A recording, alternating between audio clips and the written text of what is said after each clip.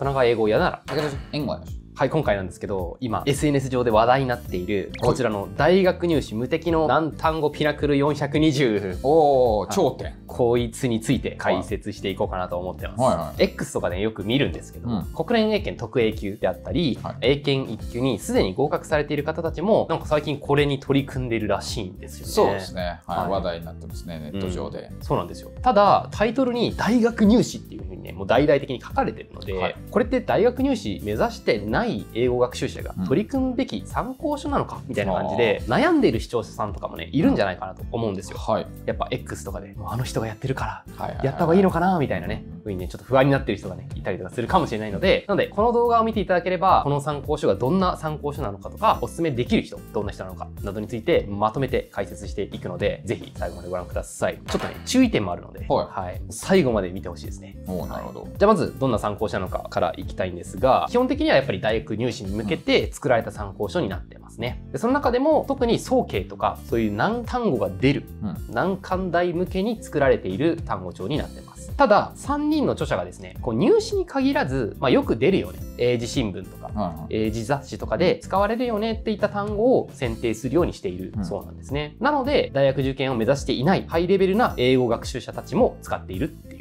わけですね。でも実際に私もちょっと目を通してみたんですけど、いやでもまず分厚い。そう、分厚いんですよ。これなんかこう見せらんですか？もう厚さがまずすごい、ね、あこの厚さの理由についてもちょっと話していきたいんですが、はい。これ420単語しかないんですよね。はい420でこんなに厚い。そうなんですよね。なんでやねんっていうのはあるんですけど、エセ関西弁が、はい、まあ、大きく理由2つありまして、一単語一単語に対する解説がめちゃくちゃ充実してます。うん、なるほど、はい、辞書より多いんじゃないかっていうぐらい。ああほう。ものによっては。そうですね。まあ何単語なんて辞書だとねちょっとしか書いてない時よくありますからね、はい。でしかも1ページ丸々1単語に使われてるところも結構あるんでページまたがってるやんみたいなものもあったりしますね。でプラス理由2つ目がこちらの別冊問題集がついてると。はい、それが取り外せるとちょっと薄くなるんですけどこちらは英検の大問1に当たるような空所補充問題がついているっていう感じになってますね。なるほど。それが理由でこう分厚くなってますよっていう感じなんですけれど、つまり語彙問題ってことですかねそうですね。いろんな語彙がこう4つ並んでて別冊問題集の方は一文書いてあって空所がありましてその空所に入る適切な語句を1から4の選択肢から選びなさいとはい。う問題になってますね。い A から D ですね、はいあ A から D だ。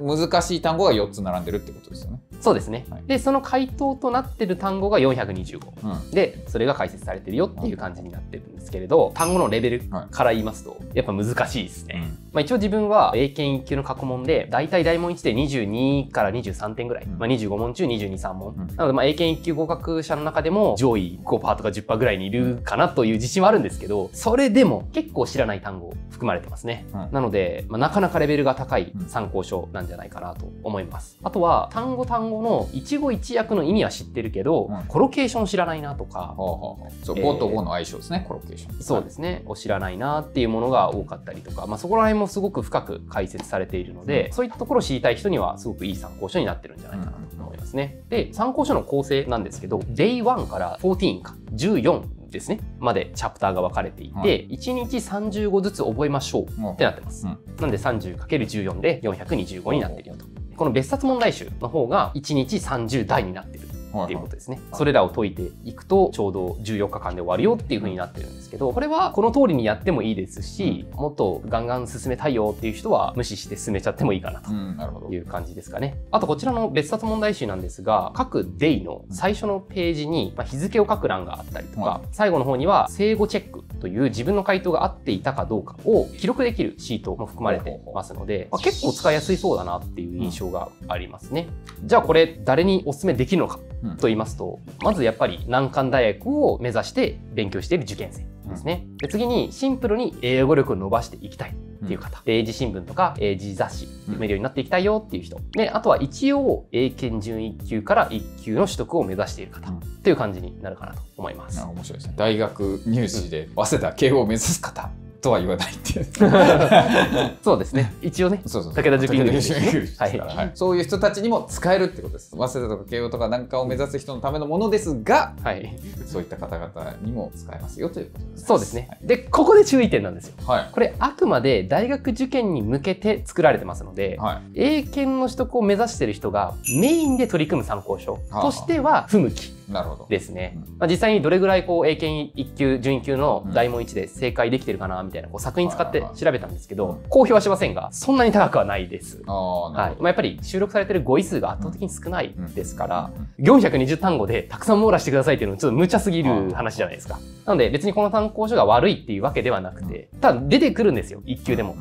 出てくるんですけど、メインで使うとしてはちょっときついかなって感じになっちゃうかなって感じですね。サブとしてうん。より深くその単語の使い方知りたいなとか、あと逆にライティングスピーキングとかでその語彙の点数上げたいなっていう人で何単語を使っていきたいみたいな時にこういうコロケーションで使えばいいのかっていう情報をインプットしたいとかですね。そういう方に使っていただきたいなっていう感じです。なので今人気だからといって安易に手を出してしまうとちょっと遠回りになっちゃうかもしれませんよっていうのが注意ポイントトですね。ねはい。まあ、非常にいい参考書なんですがという感じです。あと最近このピナクルが出てきたことによって難易度が似ている参考書で、えーロゴフィリアの話を出す方がちょこちょこ増えてきてまして、うんうん。ロゴフィリアについてはこちらの動画で説明していますので全然違う参考書ですからね。はい違います全く。構成とかも全く違うので、もうロゴフィリアなんだっていう人がいたら、はぜひロゴフィリアの方も動画見ていってもらえるといいかなと思います。ね。他にもこのチャンネルでは英語力アップのためにとにかく役立つ情報を普段から配信していますのでまだチャンネル登録していない方は今のうちにチャンネル登録忘れずにお願いします。それではまた次回の動画でお会いしましょう。今回は以上です。